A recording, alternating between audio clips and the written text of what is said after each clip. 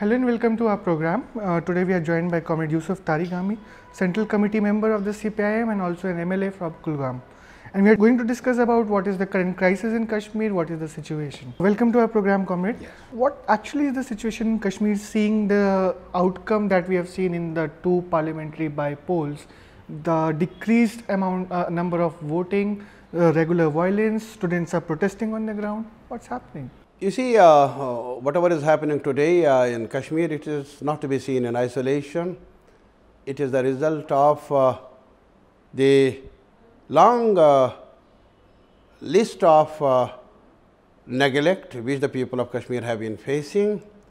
It is uh, the result of the disastrous policies pursued since long vis-a-vis Kashmir, not taking into account the actuality whatever is happening on the ground.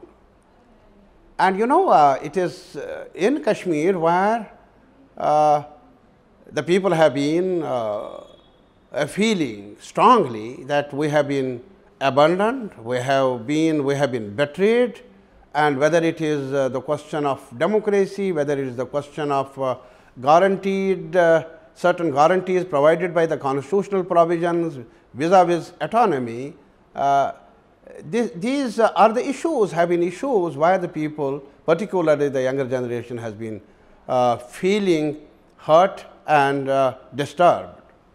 And now the present uh, crisis, again, it is the ongoing crisis of 2016. All of us know that 2016 was a very, uh, very, uh, uh, we have seen massive agitation, massive agitation and around 100 youngsters got killed, so much of pellet gun was used and uh, dozens of our youngsters have got, uh, I think, uh, blinded. And, uh, and this has been under focus. Parliament has discussed it, elsewhere it has been, this issue has been discussed. But nevertheless, uh, there has not been any political response, positive response from the government of India.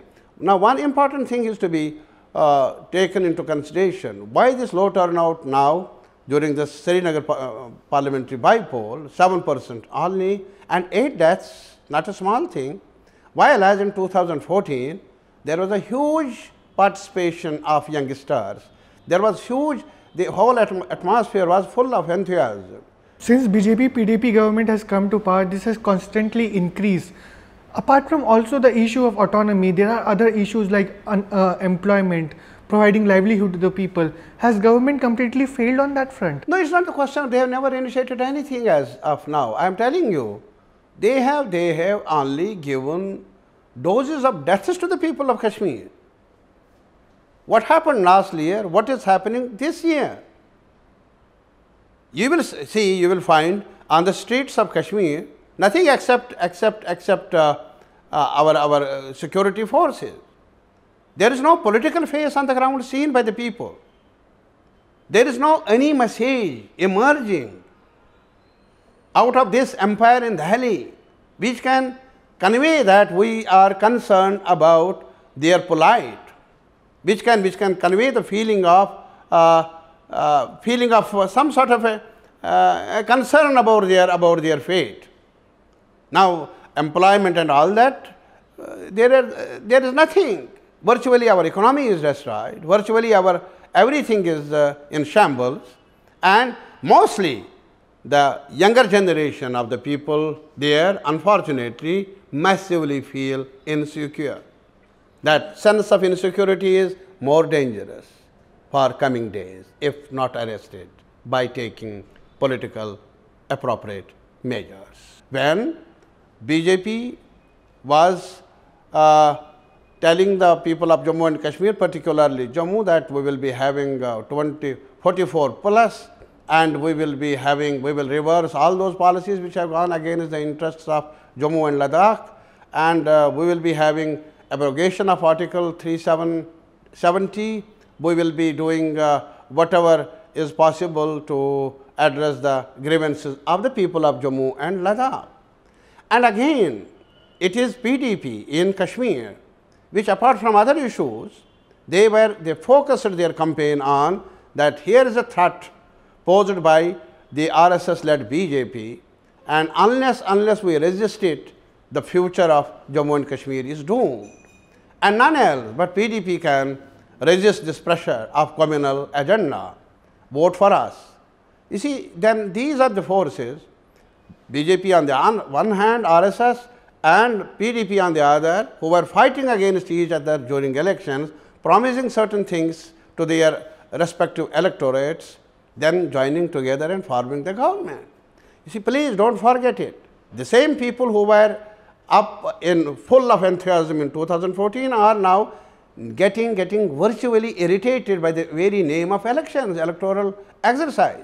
So, comrade, uh, seeing the situation that we have today, so what's the way ahead? What are the demands that we that the secular-minded people, the democratic people of Kashmir are raising? You know, uh, militancy. There was a phase of militancy, and uh, government of India claimed that militancy is almost controlled and all that. Then there were certain amount of demands in 2010 and onwards that why don't you take certain confidence building measures. When the level of militancy has come down, what is the requirement of such a huge security forces to be deployed for internal security? Then what is the necessity of armed forces special powers act? So, these were the demands and then plus there was a demand that this has been a problem between India and Pakistan, not today, right from 47. Why don't you talk together? Why don't you have a dialogue? Why don't you settle the issues through the process of dialogue? And then again, our, our, our uh, this uh, assembly has adopted a resolution about granting the original autonomy. Not that we were not demanding anything new, we were demanding whatever has been eroded to be restored. That has not been done by the then BJP government led by Atal Bihari Vajpayee. So, all these issues put together, people have been demanding, demanding, but there has not been any response. Sometimes there were certain promises made, but later on those promises have been forgotten. And even now, uh, last year, such a huge, massive, massive uh, agitation, massive, massive upsurge. And then the response has been, there has been some debate and discussion in the parliament on, in both the houses and a delegation led by Home Minister visited, all party delegation in which uh, our General Secretary was also a part of it left parties were part of it and uh, there was certain assurances given to the people. Now, now look how, how careless the attitude of the government of India is. Pellet has created havoc as if internal security is uh, incomplete unless there is pellet. What a sorry state of affairs. Now, despite assurances, despite the demand by the people that give it up this notorious uh, way of dealing with the situation, this uh, notorious weapon called pellet gun.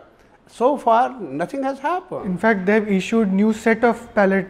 New pellets. Now, sometimes they say we will use the rubber bullet and this bullet. There is bullets only in the store of BJP.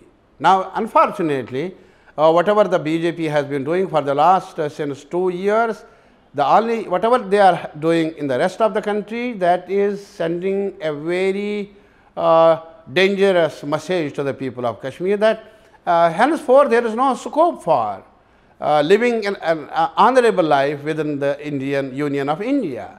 A, a, a very, very uh, dangerous message is going to the people that you, the people of Kashmir, uh, you can be treated with bullets alone, you can be treated with pellets alone, you can be treated with the prisons and all that.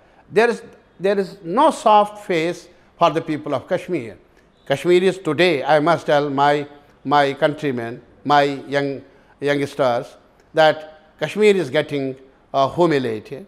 And our, our, you know, these younger bo young boys, they want study, they want good life, they want a better, better life. They don't want to get killed, humiliated.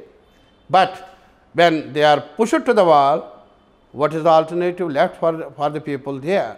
Even now the situation can be retrieved provided, provided the set of proposals made by us CPIM, this is restore the eroded position of article 370, uh, give the maximum autonomy to the people of Jammu and Kashmir, talk to all stakeholders including Pakistan, you can't live with a neighbor in an hostile atmosphere for a longer period.